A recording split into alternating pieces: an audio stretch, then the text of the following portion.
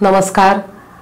आज आपण lab लर्निंग्सवर vitamin D आणि त्याच्या कमतरता म्हणजे डेफिशियन्सी ह्याच्याबद्दल बोलणार आहोत. तर विटॅमिन डी ह्याला आपण मेडिकल फ्रॅटर्निटीमध्ये वंडर मॉलिक्यूल किंवा सनशाईन मॉलिक्यूल असं म्हणतो. का म्हणतो बरं? त्याचं कारण असं आहे सनशाईन म्हणजे पूर्वी जे की ऑलमोस्ट वीस वर्षापूर्वी जेव्हा मी माझं एस करत होते आणि आम्ही राऊंड्स घ्यायचो तेव्हा आम्हाला दिसायचं की व्हिटॅमिन डी म्हणजे कॅल्शियम कॅल्शियम आणि व्हिटॅमिन डी म्हणजे बोन्स ह्याच्याशी ते रिलेटेड होतं. हळूहळू जसा प्रोग्रेस होत गेला आज व्हिटॅमिन डी हे सगळ्याशी लिंक्ड आहे. Right from obesity to infertility to mental health to cancer to skin even it is related to something called as diabetes and cardiac events आपण ते बघणार आहोत लवकरच. आता व्हिटॅमिन डी ह्या मॉलिक्युलला ट्वेंटी फाय हायड्रॉक्सी कोलेकॅल्सिफेरॉल म्हणतात. आणि सगळ्यात सोपं म्हणजे हे टेस्ट करता येतं रक्त चाचणीमधून. जस्ट सिंपल एका चाचणीमधून. आता ह्याचे हाय रिस्क ग्रुप्स कोण आहेत? कोणामध्ये हे टेस्ट करायचे कारण भारतात हे ऑलरेडी एंडेमिक आहे. सत्तर ते पंच्याहत्तर लोकांमध्ये व्हिटॅमिन डीची डेफिशियन्सी आढळते.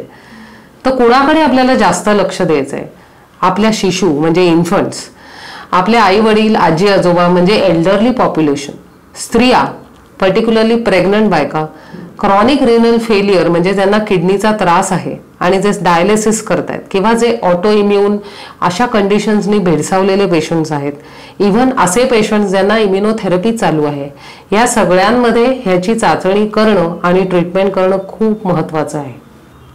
व्हिटॅमिन डीच्या डेफिशियन्सी कारणं काय आहेत? आपल्याकडे एवढा सनलाईट असूनही का बरं आपण डेफिशियंट आहोत? त्याची सिंपल कारण आहेत. एक डाएट म्हणजे आपण काय खातोय? काय पितोय? त्याचे सोर्सेस ज्याच्यात व्हिटॅमिन डी आहे ते आपण कदाचित खात किंवा पित नसू.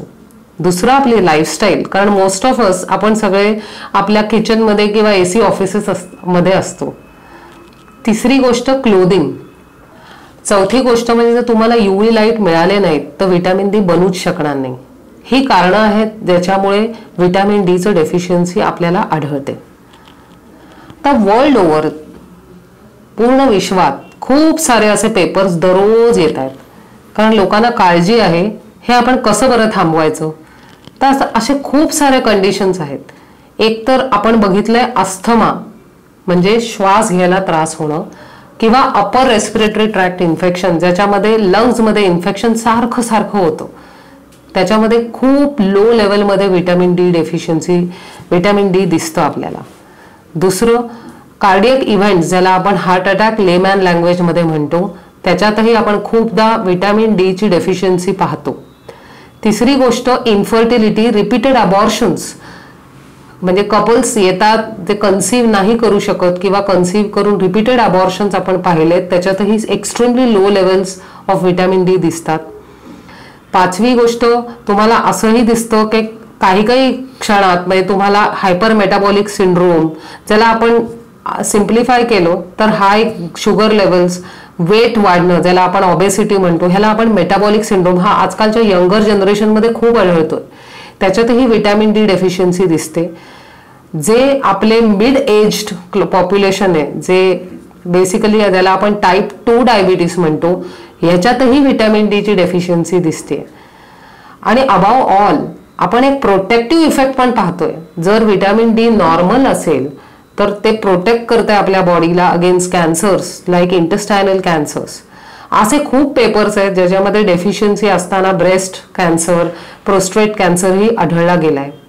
तर व्हिटॅमिन डी म्हणूनच वंडर मॉलिक्यूल म्हटलं जातं कारण तो सगळ्याशी लिंक्ड आहे आपल्या बॉडीमध्ये आता सगळ्यात इम्पॉर्टंट असं आहे की आपल्याला निदान करणं ही सोपं आहे कारण रक्ताची चाचणी आहे आणि ट्रीट करणं ही तेवढंच सोपं आहे. ट्रीटमेंट आहे ते रिप्लेस करता येतं पण माझी एक रिक्वेस्ट आहे की तुम्ही स्वतःहून डायग्नोज आणि ट्रीट करू नये. आपल्या लोकल डॉक्टर्स किंवा फॅमिली डॉक्टर्स सल्ला घ्यावा आणि मग हे करावं.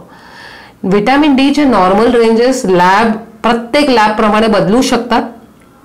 पण ग्लोबली जर तुम्ही पाहिलं तर व्हिटॅमिन डीचे लेवल्स तीस ते शंभर नॅनोग्रॅम्स पर एममध्ये नॉर्मल मानल्या जातात. डेफिशियंट म्हणजे खूप कमी आणि इनसफिशियंट म्हणजे borderline with this I would like to end आपला आजचा व्हिडिओ ऑन व्हिटॅमिन डी आणि त्याचे इम्प्लिकेशन्स म्हणजे त्याचे चॅलेंजेस काय असतील त्याचे रिस्क फॅक्टर्स काय असतील ते कसं डायग्नोज करायचं आणि ट्रीट कसं करायचं? तर तुम्हाला सगळ्यांना हे जर आवडलं असेल आणि अजून काही ऐकायचं असेल तर प्लीज तुम्ही माझ्या चॅनलला लॅब लर्निंग ह्याला सबस्क्राईब करा आणि त्याचं बेल आयकॉन प्रेस करा. तोपर्यंत काळजी घ्या आणि स्टे हेल्दी